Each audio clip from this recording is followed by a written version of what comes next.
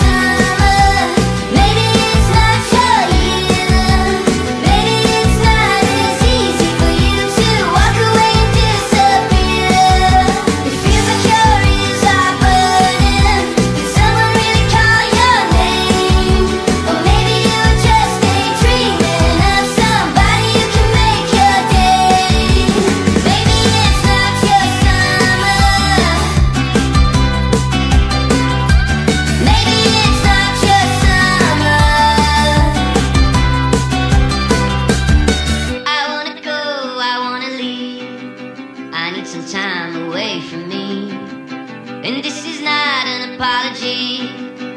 Apologies aren't necessary.